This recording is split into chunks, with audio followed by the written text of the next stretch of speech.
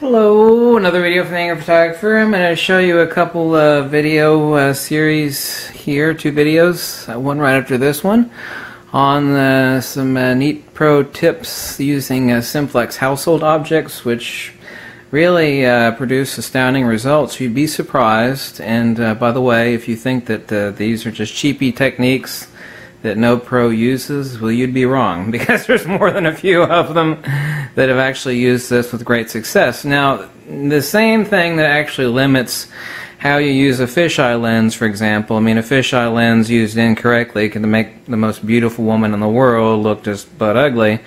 Uh, the same is true of using a pantyhose uh, front filter like this that I actually have attached via Velcro on the front of uh, my lens hood.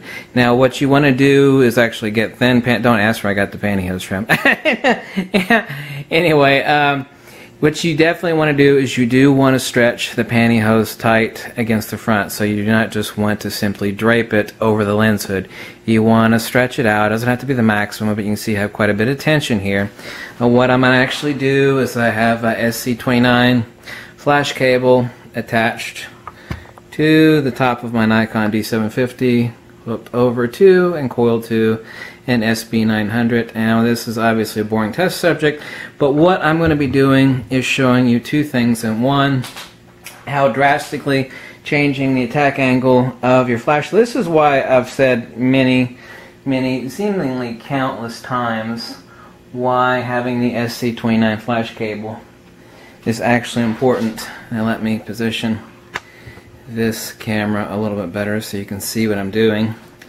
What I'm going to do is I'm going to turn this light away, but I'm going to take the actual test shots with this light off to get the maximum desired effect. Is I'm going to be trying various angles with uh, my S uh, my SB uh, 910 a speed light that's hooked via it's basically a coiled TTL cable to my Nikon my Nikon D750.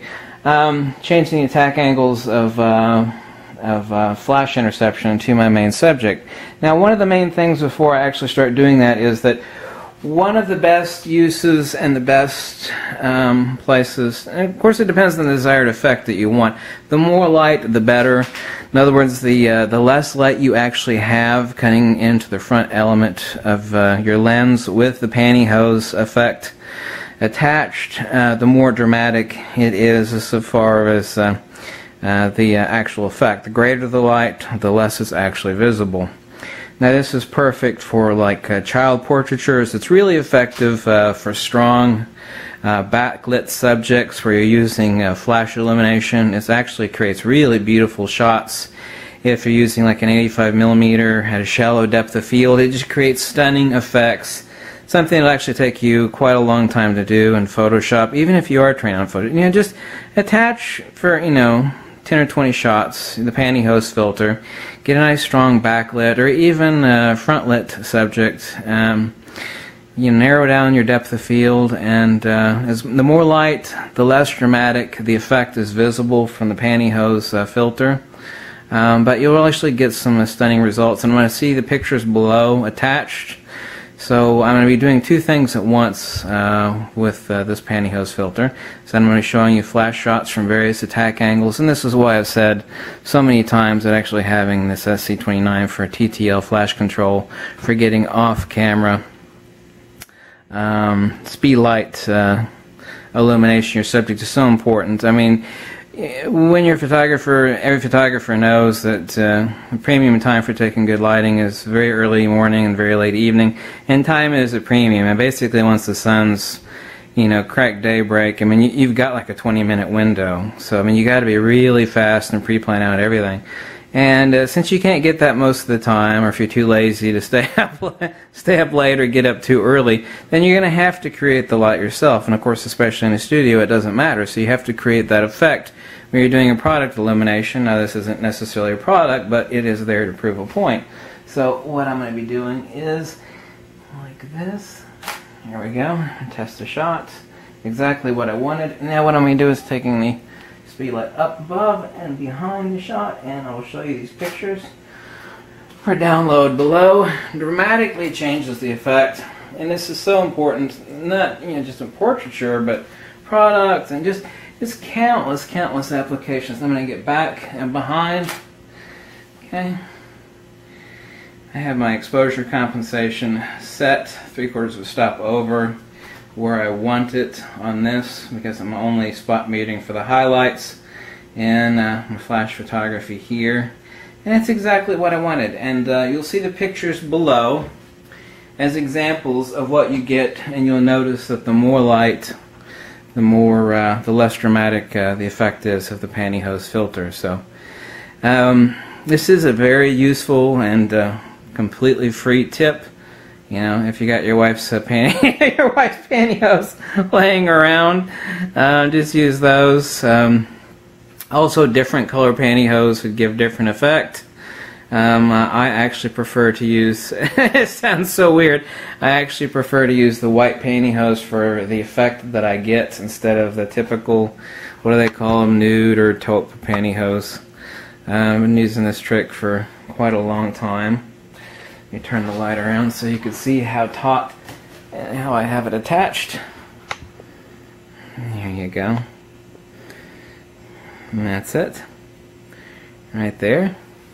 And I just have a simple ring of Velcro so we're actually able to cinch with tension the pantyhose. Like I said, you just don't want to place it over the front, but you don't want any seams in the front as your image is passing through. You want nice even tension of the light that's actually entering the front element of your lens there.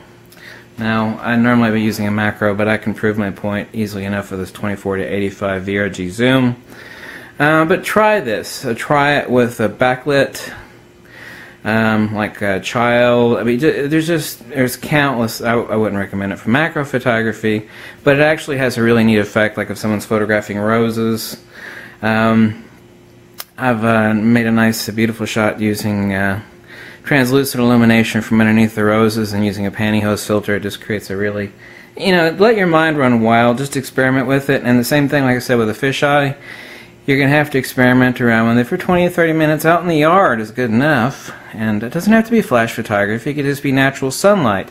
And you will see, you will immediately see what I'm talking about. It's like, oh, this would make a beautiful uh, ethereal portrait uh, shot, or, uh, you know, I'm, I was thinking about this sort of, you know, ethereal misty shot to give an X uh, situation. It's all about your mind, and, uh, you know, stuff like this is completely free. You know, you don't bebop down to your camera shop and buy it. I mean, it's just simplex stuff that took me, you know, 30 seconds to attach, but it gives a really nice effects. Anyway, check the pictures down below and uh, you'll see the effects, but I will be not only showing you the effects of the pantyhose filtration, but also the effects of how important and what I've been talking about for so long when it comes to use of uh, this SC29 uh, TTL. Now this is autofocus assist module up here that's connected to my hot shoe, my D750, coiled and attached to my uh, Nikon SB910 flashlight, SB800, SB700, SB900, whatever. But a very, very, very useful tool. Um, one of the most egregious things is doing a flash photography uh, with your speed light attached on the top of your camera. As I've said before many times, also, everybody sees that on paparazzi photography, but that is simplistic journalistic photography. It is not about the art per se, it is about you know, capturing somebody doing something weird or whatever, traveling from here or there. But that's not the sort of photography that you're, you may be interested in that, but that's not the sort of photography as far as getting the best effects. Angle of incidence equals angle of reflection. So doing flash photography with your uh, speed light attached to the top of your camera, you know, 99% of the situations is not a good idea for obvious and logical reasons. It's the same reason why noonday light makes gorgeous women look like dogs, and it makes pictures look boring and dead. So anyway, I've flapped my lips enough, and check out the test shots below, okay?